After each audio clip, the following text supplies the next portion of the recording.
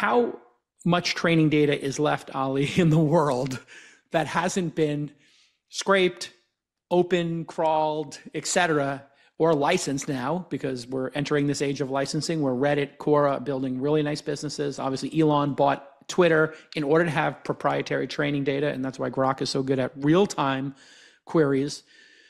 Is there any data left? And how are these large language models or verticalized models creating data? And it's a bit of a softball question since this is what Micro-1 does for a living. Yeah, so so there is there is no data left. um, you know, there's a the internet has obviously been been trained on, and I think there's a large scale kind of equivalent data sets that that have similar quality. So training on them actually doesn't really meaningfully improve models. So you know the way we look at it is we're in the phase of post training where net new data is required, and that net new data is created by humans, oftentimes human experts and subject matter experts in specific domains that are creating very complex, high fidelity data sets to continue improving model capabilities. And I think the route that you know foundational models uh, companies are, are taking is they're trying to improve in, in the highest economically valuable domains, and they try to improve in, in with data structures that are emergent, which means uh, you know improving not only in that domain but also improving the model generally. So um, yeah, give give some examples of the top you know high value verticals obviously people have watched we have an investment in a company called tax gpt that's doing tax law mm-hmm. specifically which is granular which is detailed which you need expertise in which is always changing obviously tax laws change every day Uh, globally in you know hundreds of markets and thousands of different little niches. So I'm assuming accounting and legal are obvious ones in there, but and maybe coding. What else is in this list? What what are your clients asking for, generally speaking? Yeah, the, the three main categories are finance, medical, and legal. And coding, you know, is a, is a very close fourth. Those are the ones that we sort of focus on based on the demand that we that we see.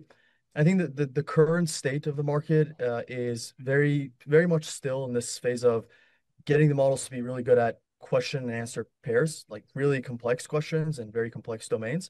Um, but we're now starting to enter the phase of models actually doing things in those domains. And I think tax is actually a really good example.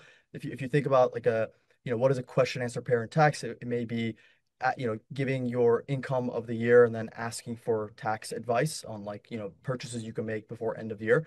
And the models do, I think, a pretty good job at, at answering these singular questions. But where, where models fail at very much so currently is uh, when they have to answer sort of like multiple questions in a row, which is equivalent to saying they have to sort of do things. And the, the, the simplest way to think about this is if you assume that there's any given domain that has, let's say, 90% accuracy in answering any given question, uh, any arbitrary question, if you if you take that and you have to answer multiple in a row, let's say five questions in a row to actually do some actions, and you do 0.9 to the power of five, you're going to very quickly kind of go to zero, right? The accuracy is going to compound, uh, converge towards zero very quickly, which is why training data for tasks that have these sequential actions is, is much harder. So one of the environments that actually we're, we're creating is, is a is a tax environment specifically for California W2 taxes. And as you can imagine, there's lots of you know steps to filing someone's taxes, such as collecting input data from them first, making sure you actually have the right input data. There's some partial rewards for that. And then there's a conversation that happens around tax advice and a bunch of steps in between. And then ultimately the tax is filed.